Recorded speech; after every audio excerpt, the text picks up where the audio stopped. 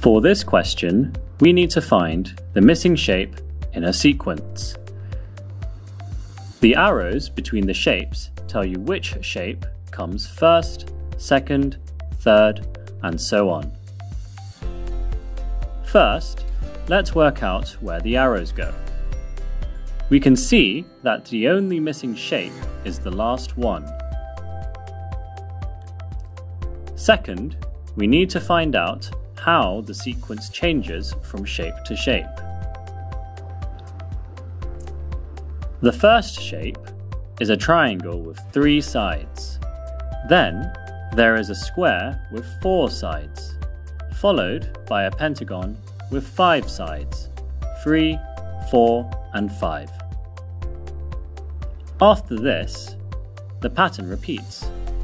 So, the missing shape must have five sides. Looking at the answer options, we can see that C must be the correct answer.